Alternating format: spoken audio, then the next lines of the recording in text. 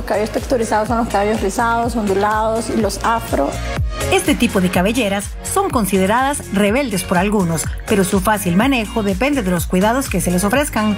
La primera recomendación es conocer muy bien el tipo de rizo y además peinarlo correctamente.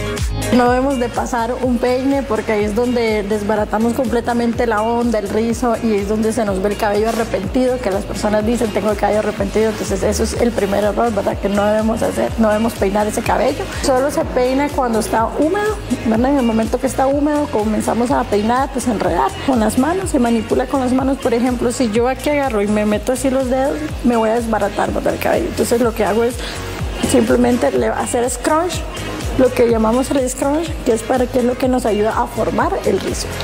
Eso no significa que los peines estén prohibidos para los cabellos texturizados. Se aconseja utilizarlos siempre que sean los idóneos para la hebra. Por eso, elija un cepillo adecuado.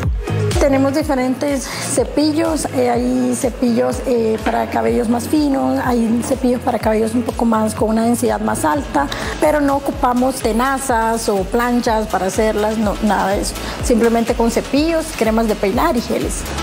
Y hablando de ese tipo de productos, es importante invertir en los que aporten sedosidad y brillo al cabello. Por eso no puede faltar la mascarilla. La mascarilla es lo que le da la vida al cabello, ¿verdad? Ya sean mascarillas hidratantes, nutritivas o mascarilla de reconstrucción. Eh, yo recomiendo que se utilice una, una mascarilla una vez a la semana y que siempre que a la hora de que lo estilicen eh, pues ocupen crema y gel para poder fijar muy bien el cabello. Dependiendo del tipo de cabello que tienen se usa el producto, ¿verdad? dependiendo de la necesidad que tenga el cabello, dependiendo si la hebra es fina, si es gruesa. Es importante que, visiten pues a un profesional siempre para que les ayude a manejar su tipo de cabello.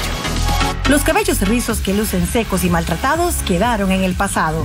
Actualmente existen métodos, productos y consejos efectivos para presumir colochos saludables y bien hidratados. Les invitamos a suscribirse a nuestro canal de YouTube para repasar todo el contenido disponible.